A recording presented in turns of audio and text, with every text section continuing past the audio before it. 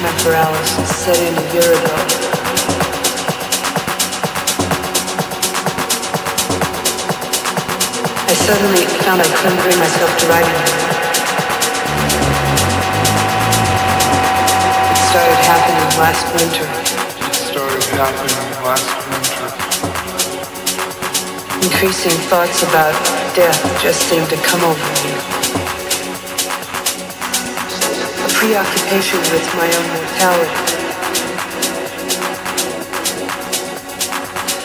These, uh, these feelings of futility in relation to my work. I mean, just what am I striving to create anyway? I mean, to what end, for what purpose, what goal? It's terrifying.